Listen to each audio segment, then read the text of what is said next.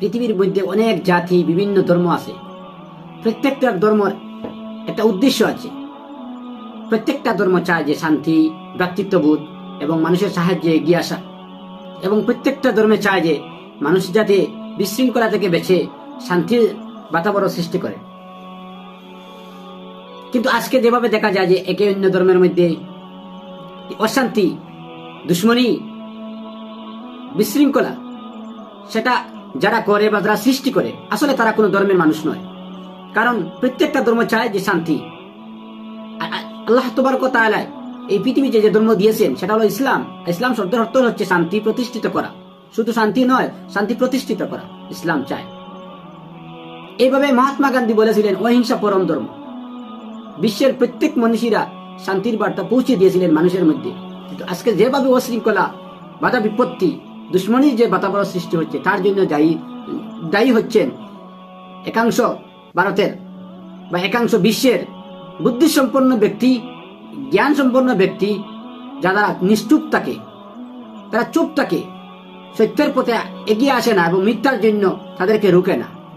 আল্লাহ তোমার কথা আল্লাহ ইরশাদ করেছেন, কোরআন শরীফে মুসলমানদের জন্য নয়, সমস্ত বিশ্ব মানুষের জন্য। ইয়া আইয়ুহাল্লাযীনা আমানু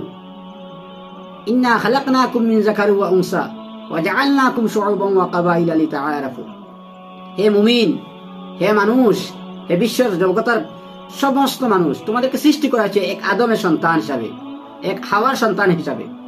সমস্ত সমস্ত মানুষের মা বাবা হচ্ছেন আদম এবং হাওয়া আলহি সালাম আল্লাহ তোমার কথা কোরআন ইরশাদ করছেন, কুনতুম খায়রা উম্মাতিন মুসলমানদের জন্য শুধু নয়, সমস্ত মানুষের জন্য। খায়রা উম্মাতিন উখরিজাত তা'মুরুনা বিল ওয়া তানহাউনা আনিল মুনকার এরাই সর্বশ্রেষ্ঠ। হ্যাঁ মানুষের মধ্যে এরাই সর্বশ্রেষ্ঠ হবে। যারা ভালো কাজের আদেশ দিবে এবং খারাপ কাজ থেকে মানুষদেরকে আজকে কিন্তু যেভাবে খারাপ কাজ ছড়িয়ে পড়ছে, ভালো মানুষ নিশ্চুপ থাকছে, ভালো মানুষ কিন্তু কিছু কথা বলে না, তারা সাহস পায় না। এইভাবে যদি ভালো মানুষেরা যদি কথা বলা বন্ধ করে দেয়, সাহসী ব্যক্তিরা যদি কথা বলা বন্ধ করে দেয় সত্যের সৈন্য যদি মানুষ এগিয়ে না আসে, তাহলে একদিন সত্য বিলুপ্তি হবে আর মিথ্যা সমস্ত উপরে চলে আসবে। তখন কিন্তু সমস্ত মানুষ, সমস্ত শান্তিগ্রামী মানুষ ধ্বংস হয়ে যাবে।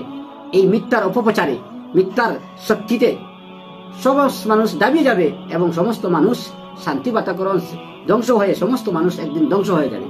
যদি এইভাবে যদি সমস্ত জাতির মধ্যে, এইভাবে যদি সমস্ত পৃথিবীর মধ্যে, এইভাবে যদি মানুষের মানুষের মধ্যে যদি বাতাবরণ খারাপ বাতাবরণ সৃষ্টি হয়, লড়াইয়ের বাতাবরণ সৃষ্টি হয়, এইভাবে যদি অশান্তির বাতাবরণ সৃষ্টি হয়, তাহলে একদিন যারা শান্তিগামী আছেন, তারাও ধ্বংস হয়ে যাবে।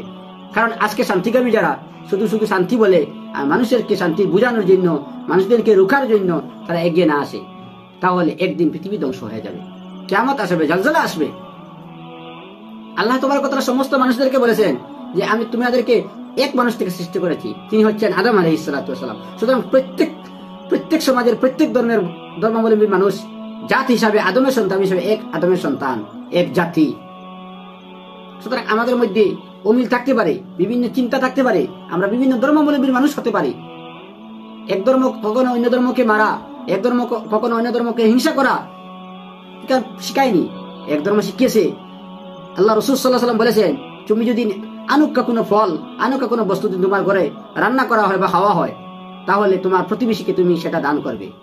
যদি দিতে না পারো, তোমার দিল শক্ত থাকে, তুমি দিতে চাও না লুকে লুকে খেতে চাও, তাহলে এটার যাতে আলামত এটা যাতে পরিচয় তোমার প্রতিবেশী যাতে না বুঝতে না পারে। আল্লাহ রসুল সাল্লাম এইভাবে ভ্রাতৃত্ববোধ গড়িয়ে দিয়েছিলেন, তুলেছিলেন। আদম আলহি সাল্লাতামের পরে এক সময় এসেছিল হজরত নু আলহি সাল্লাতামের সময়। নু আলহি সাল্লাতাম দ্বিতীয় আদম বলা হয় উনাকে। নু আলহি সাল্লাতাম এইভাবে মানুষ খারাপ করেছিল। এইভাবে মানুষ অনেক পাপাচার কাম করেছিল। পাপাচার কাম করার জন্য আল্লাহ তবাতলা মানুষদেরকে ধ্বংস করার জন্য নু আলহি সাল্লামকে নিষেধ দিয়েছেন, তুমি কষ্টি বানাও, নৌকা তৈরি করো। অর্থাৎ আল্লাহ তবরক তালাকে যারা মান্য করবে, তাদেরকে এই কষ্টিতে নিয়ে যাও।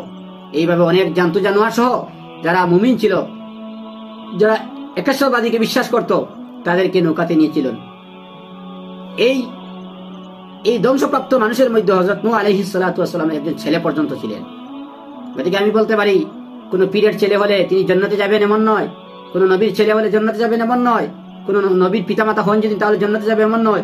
জন্নতে যাওয়ার জন্য তোমাকে ইমান তোমার প্রয়োজন হবে, জন্নতে যাওয়ার জন্য তুমি শান্তি দুনিয়াতে সৃষ্টি করতে লাগবে, জন্নতে যাওয়ার জন্য তুমি একজন ভালো মানুষ হতে হবে, জন্নতে যাওয়ার জন্য তুমি একজন ভালো ইমানদার। অর্থাৎ যিনি তোমাকে সৃষ্টি করেছেন, যিনি তোমাকে রিজেক্ট দান করছেন, যিনি তোমাকে বানিয়েছিলেন, যিনি তোমাকে মৃত্যু দান করবেন, যিনি তোমাকে মা বাবা দিয়েছিলেন যিনি তোমাকে সমস্ত পৃথিবীর এই চন্দ্র, সূর্য, নক্ষত্র, তারা, হাওয়া, বাতাস ইত্যাদি দিয়েছিলেন তোমার জন্য।